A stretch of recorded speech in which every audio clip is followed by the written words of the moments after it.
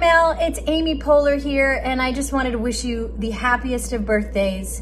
And I wanted to say thank you for your incredible life and career and how kind and funny and warm you are to all of us and what an inspiration you are to all of us. So congratulations on on your 95th birthday and sending lots of love.